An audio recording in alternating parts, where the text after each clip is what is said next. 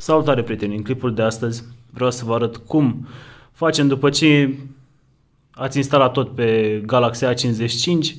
Vreau să vă arăt niște setări pe care le faceți la început pentru a funcționa mult mai repede, pentru a funcționa mult mai bine, pentru a avea mult mai multă baterie și pentru a-l folosi mult mai facil acest telefon. În primul rând începem cu prostia asta pe care nu știu, nu reușesc uh, cei de la Samsung să o scoată, să renunțe la ea, tot bagă pe gât Bixby, asta nu folosește nimeni, dar nu știu de ce insistă.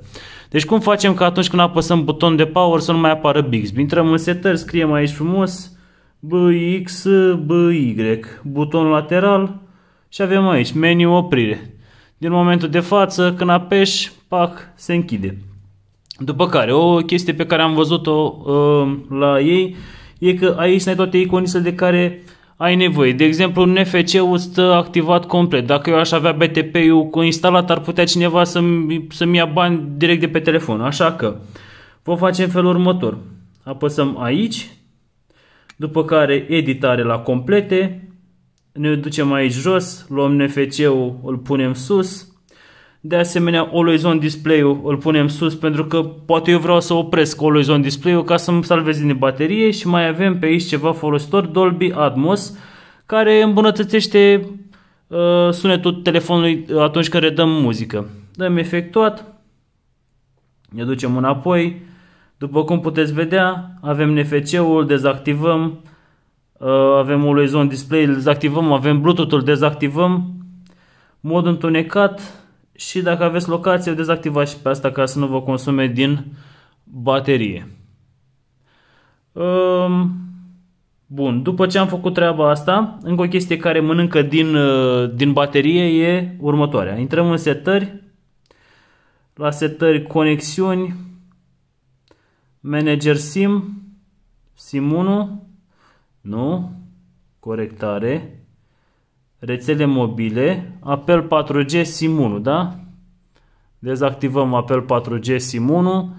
De asemenea, dacă nu aveți un, un uh, plan de date 5G, nu mai lăsați la mod rețea 4G, uh, 5G, 4G, lăsați 4G, 3G, 2G, da? Dar dacă aveți 5G cum am eu aici, nu că zic, dar vreau să mă laud, uh, lăsați 5G, 4G, 3G, 2G, da? Bun, am dezactivat și treaba asta. Acum, mai avem pe aici prin setări. Mai sunt niște chestii care trebuie scoprite, care mănâncă din baterie angro. Avem afișaj. Dați pe întunecat întotdeauna pentru că e AMOLED, pentru că negru, pentru că atunci când LED-urile afișează negru, ele sunt de fapt oprite și salvează din baterie. Uh, luminozitatea adaptabilă, corect. Uh, panouri laterale, sincer, dați pe ele panouri laterale. Mm, treaba asta, nu știu cine o folosește, eu le opresc. Consumă din bateria iurea, bara de navigare. Ca să mai câștigați niște ecran, folosiți gesturile de glisare și aveți back, da? Aplicația asistent, ce vrea asta? Nu știu. N-am nevoie. Bar, protecție împotriva atingerilor accidentale e bună. Sensibilitatea atingere. Când puneți o folie la, la telefon, activați sensibilitatea atingere. Deocamdată nu e cazul. Economizor ecran, niciuna. E bine. Bun. Uh, afișaj la baterie.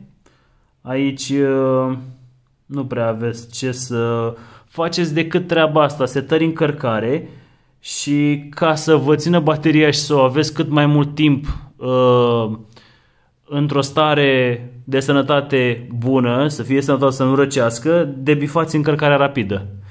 Uh, eu nu o debifez, mie îmi place să încarce rapid, dar dacă nu ești genul care să fii mereu pe fugă și poți să încarci peste noapte sau na, poți să încarci mai mult timp, debifează încărcarea rapidă că telefonul va ține mai mult.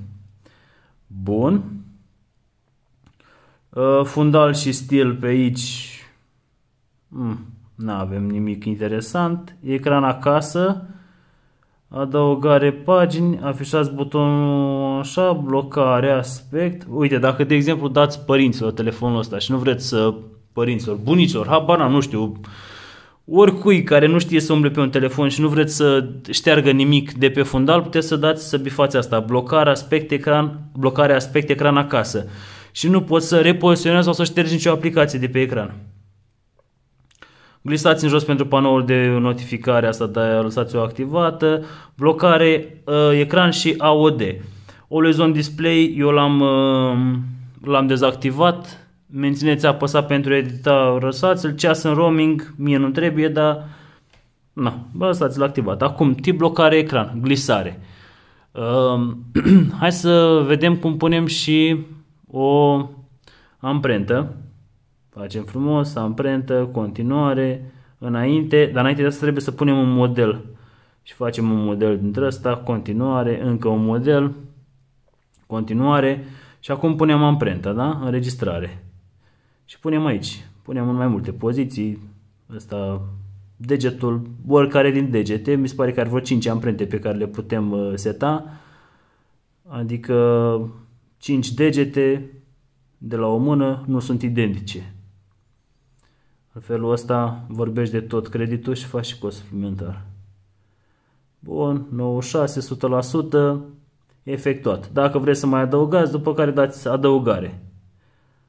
Uh, afișare animație la blocare, senzor de amprentă pornit mereu. La fel, dacă sunteți nebuniți după baterie, de, debifați-le pe amândouă să țină bateria cât mai mult. Bun.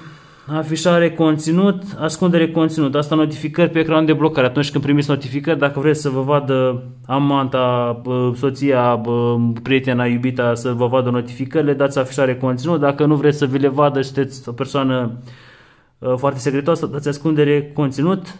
Afișare conținut la deblocare, vă arată după aia, după ce deblocați. Efectuat. Bun. Uh, ce mai avem pe aici? Locația, solicitări privind locația, permisiunea aplicații. Aici dăm, putem să, să revocăm permisiunile uh, tuturor aplicațiilor care au acces la locație. Din punctul meu de vedere, niciuna n-ar trebui să aibă acces la locație decât dacă îi dau eu voie. Și astea.